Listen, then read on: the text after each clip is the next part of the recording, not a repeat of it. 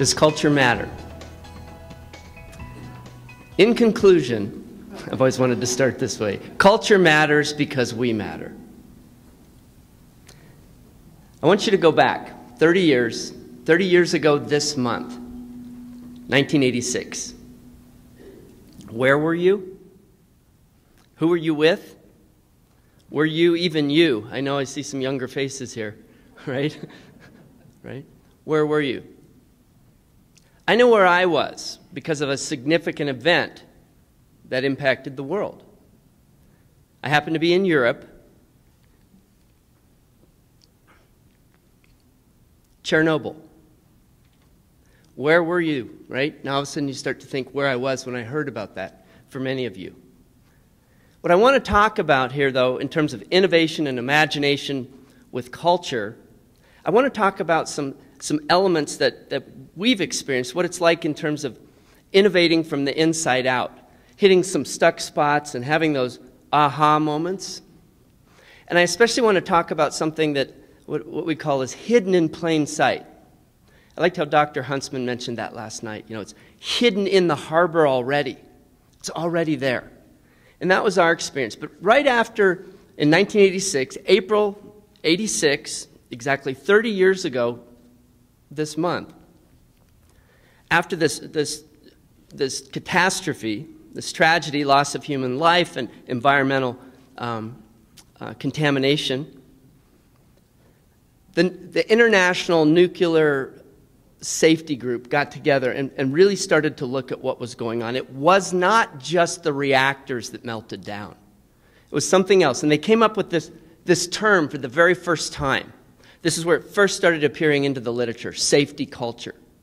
Now we hear about it in all sorts of different ways. We hear about safety culture, safety climate, organizational culture, right? We, we hear it, it's all over. But this was the first time that it, it started to appear. And, and what they did is they started to look at some different definitions. They, they tried to come up with one definition, and there's several papers out there, and nobody's really been successful at having just one definition. But the key elements are that when we think about culture, we think about shared. It's something that we're shared together. It could be shared perceptions, shared values, shared behaviors, attitudes, right? This is, what, this is what we mean in terms of culture.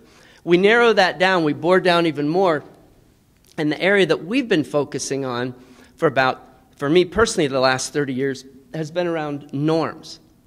And, and simply stated, norms are really who we are, what we're about, what goes on around here, right? With, when we hear those kinds of things, we're, we're cued into, we're somehow communicating norms. Why do norms matter? Why does culture matter? Because it, the reason is because it creates a framework, a, an agreed upon framework for how we're going to view the world, what we're going to interpret, what we're going to see, and what we're not going to see. So we have this. We have this framework. All of us have these different frameworks for the different organizations or cultures or communities that, that, that we're a part of. And, and it's a, a view of how the world works. One thing we need to keep in mind all frameworks are wrong. Or, or, or, a better way of saying this might be all frameworks are, are incomplete. They never really match the thing that, that they're trying to, to, to point towards, right? A model, for example, of a 747 is not the 747, right? A model of community health is not community health. They all have weaknesses, but they also have some strengths and opportunities. Back in 86, after that catastrophe, I'd finished a graduate degree. I was then out, I was in Colorado and I was, I was doing work as part of uh, inpatient um, substance abuse prevention. And so, what we would do is we would then go out, this was in 1987, we'd then go out into the communities and, and do our best shot at what we called community health. And these were some of the best practices at the time. And what we would do is basically take this out into the classroom. And, and when the, the the state of the art or the best practices of prevention at that time were really um, if we have an issue, if we have a problem, what, we, what do we do? And we still ask this of people. Well, you got to tell people, you got to make them aware. And indeed, we do. But it seemed to have stopped there. It's like if all we could do is educate them on the risks, then somehow health was going to happen. So we're thinking about, okay, let's take this into the classroom. And so that's exactly what I was doing, going out into the classroom and I, I had a nice little spiel. I had a, a talk. I was telling people how, how much they were at risk, and especially their generation, and here are the things. And this one young man in the back of the classroom just said, Dude, that's not who we are. this is one of those moments for me, like, I'm, okay, I'm like, okay, great. Here's a wake up call, right? Dude, that's not who we are. He's talking about norms, he's talking about culture. And he, he didn't say it in these way, this way, but he said, Your perception is not matching our reality, right? When we think about the cultural work at that time, what we were basically doing was the don't run with sharp scissors approach, right? And if they don't, if they keep running with sharp scissors, what do we do? Well, we, we increase the funding and we yell louder at them, right? That, that was a lot of what was going on. And a lot of our best practices were really operating for what we call a deficit base, right? Somehow you lack something and I'm going to provide it, right? You, you somehow have a missing piece, I'm going to come in and provide it. But whenever we're doing that, we're somehow also communicating, hey, we're okay because we got the grant, the funding, or the degrees, and it's you that's at risk. And that never works well. And so it didn't work in the high school, so we thought we'd take it out and do some work in, in the colleges, right? I was doing this in um, colleges in Colorado and other places. I'm, I'm not the fastest learner here, right? But, but figured it might work in colleges. So, what we're going to do with this issue of binge drinking is we're going to go out and really focus on all of the, the risks and the prevalence and the harm associated with binge drinking. And there were about, this was in the late 80s, and several of us were doing this. Um, many, I mean, many people across the nation were doing this. Several of us would gather and we go, how you doing? And it's like, what's your data showing? And what we all are seeing is a common pattern. It's like, oh, didn't see that one coming, right? But somehow we back up and we look at it now from a different lens. We see what we're promoting and what we're putting out there as normal is what people start to gravitate towards. Essentially, what we were doing was just using a fear based approach. And since then, there's a lot of literature that talks about some of the limitations, or even the, the backfiring or the iatrogenic effects of what happens with, with fear.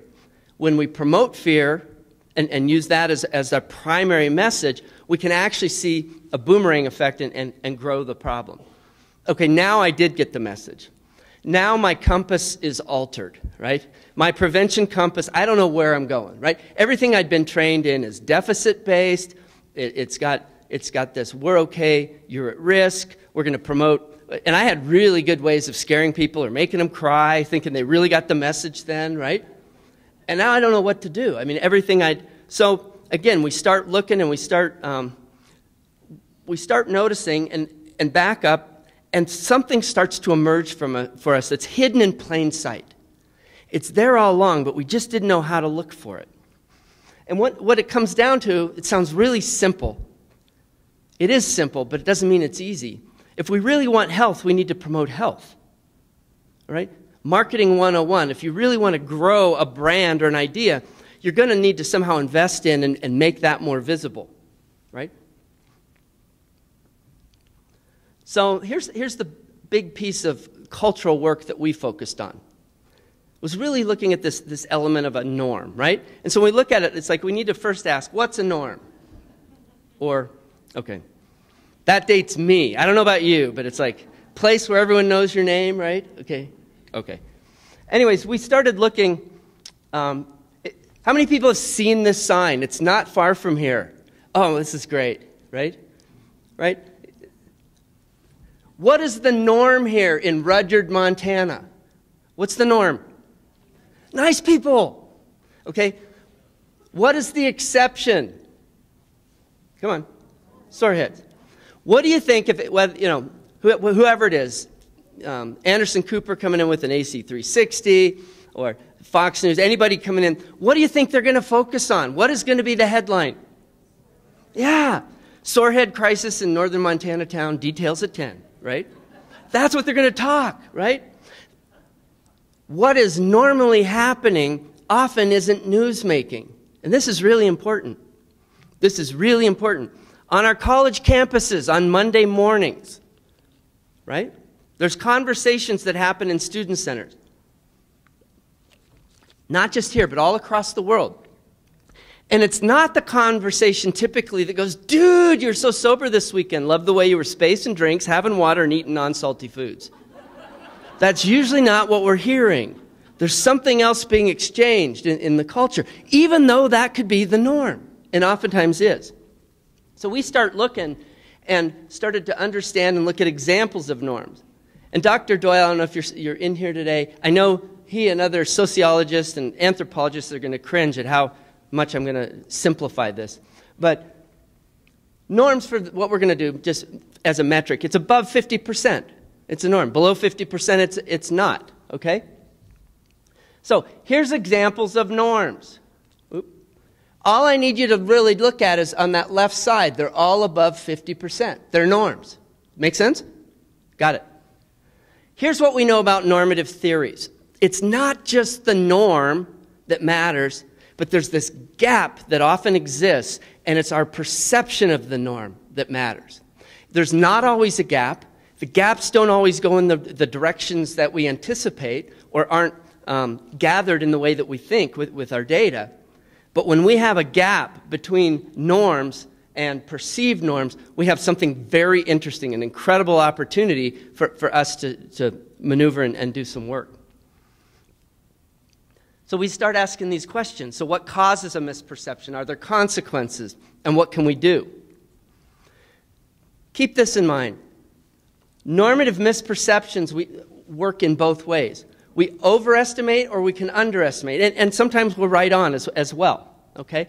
What happened for us in Montana was something that had never happened before. We moved from the college campuses and started looking at young adults and saying, wow, this is wild. If, if this phenomena of misperceiving norms, especially like binge drinking norms, is happening across the nation on college campuses, we said, well, I wonder what's happening with young adults. The Montana Department of Transportation said, we wonder too, because we're not getting the results we want just using scare tactics. Here, let's take a look. So we started and we, we conducted some surveys and looked at, at statewide young adults. And in this case, you can see that for males in that, that 18 to 24 year old range, they're drinking three drinks on average, right? But the misperception or the perception of what's typical is twice that much. So there, there's an over perception of the true norm. Okay? Well, we started looking at protective factors too. So if that was a risk factor, potentially, what about protective factors? We found the same kind of thing was uh, operating in, in this same study. At the same time, we were, they were under perceiving the prevalence of protections that are happening all around. Go back to my college student example. People aren't standing up and, and just saying, I'm, I'm sober tonight, it's Friday. Okay. You know, we're not drawing attention to the, the norm, even though that may be what's most typical. So here's what, what became important for us is the misperceptions, what's hidden is that um, we have both risk and protections that, that are operating this starts to get really interesting for us then, right? And often what happens is we're underestimating, excuse me, we're overestimating the risk and we're underestimating the protections with a lot of different behaviors. That, that's what we're seeing. Here was one study funded by Montana Department of Health looking at parents statewide. And we called this one Not My Little Angel. But if you look at these, what we have are what parents, what parents are reporting that they're doing as a, as a positive protective parenting behavior and then their perceptions of what they think most other parents are doing around Montana. Across the board, it's like, yeah, we're doing all these things. We're looking at curfews, we're monitoring grades, we know when they come home. I don't think those other people do, right? Not, so it's not my little angel. I mean, we got this, but them? Uh uh-uh. uh So we start looking other places. Here's a, here's a project we have right now in Minnesota, working with 10 communities. 85% of the high school students in these 10 communities report not having any alcohol in the previous, what is it, month? Yeah. All right? However, about half of these same students think most are drinking at least monthly or more often. Why does that matter? We start running risk ratios and we see people that have the misperceptions are more likely to engage in the problematic behavior. We see this again and again and again. Right? And here's something I need to say then it happens everywhere we're at the communities or the students start to say, wait, wait, I know that you got, you know, there's decades of research, but we're different around here, okay? I just need to let you know. And so we were hearing that from these communities. We're just finishing this five year cohort. But about midway through, I said, Yeah, let, us take a look at your data about how different you are, right? So here's, here's how different you are in your perceptions. Um, here's how different you are in, in um, your, your injunctive norm of what you'd like to do. Oh, and here's how different you are in your actual norms, right? Yeah, tell me about different here, right? Statewide in Idaho, norm 85% not driven a motor vehicle. Misperception 90%, 89% think most did. Those that do are, are at greater risk. Mental health issues, stigma, suicide. We think about, okay, in the West, it's that whole individualistic thing, and that's the biggest problem. Let me say this the true culture, 88%, most of the adults in Wyoming disagree that it's a sign of personal weakness. But that's not the conversation you hear in, in, in, our, in our healthcare systems and as we're, we're talking. Across the state of West Virginia, safe sleeping, working with home visitation. Yep, the norm. Most parents in, in West Virginia um, agree in terms of the safe sleeping conditions. However, 83% don't, uh, did not accurately perceive this norm of other parents, and when you break that down and look at the home service providers, there's even a greater misperception. We too become carriers of the misperceptions here. And why does it matter? It matters because social norms theory is basically saying we gravitate towards that which we see as normal. That's that I just in that little sentence I said like Here, here's 10 books to read, right? Okay. So what's the big deal? Perception is everything because what we perceive to be real starts to become real for us in its consequences. We focus on it, we talk about it, we essentially grow that. Read this with me very quickly, okay? Read this. According to a research study, read out loud, at Cambridge University, come on,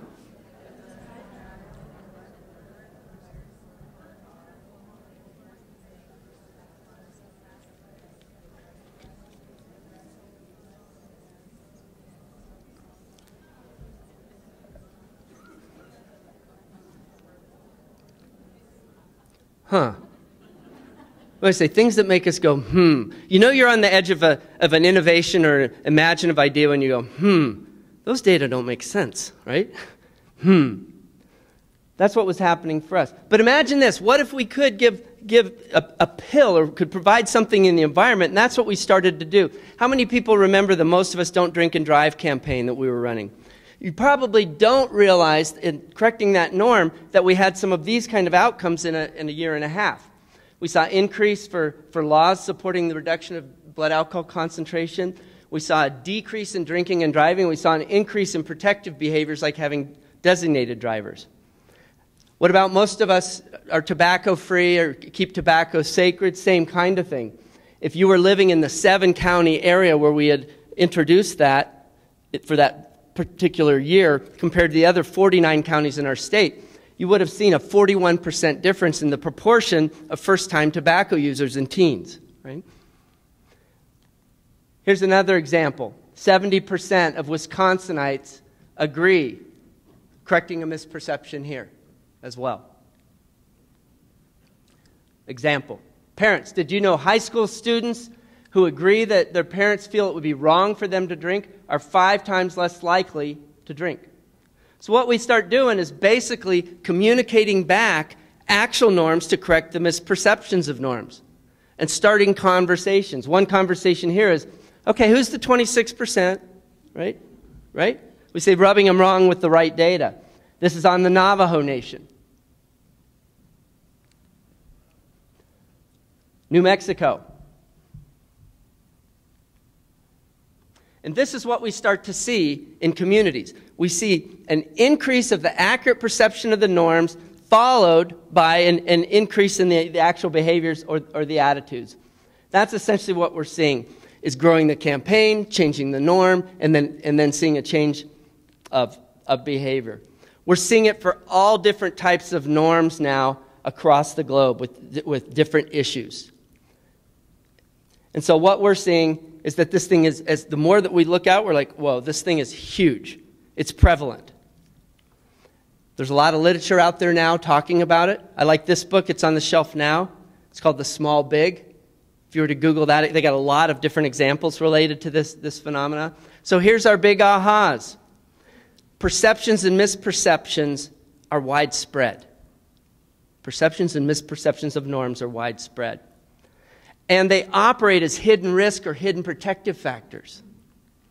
What's exciting is that we can strategically come in and grow positive community norms. We have a seven step model where we go through that every summer in July and at, at Big Sky as an institute. We've been doing that since 1988. Norms are culture. It's a big idea for us that if we could start to correct misperceptions by communicating words of health and healing and the goodness and the beauty that really already exists, there's these indigenous protective factors already operating in our, our community. But what we have to do is we have to back up as innovators and, and question our perceptions, right? Charles Dickens, Tale of Two Cities. What is it? It was what? Best and worst. Which is it? It's both. It's both.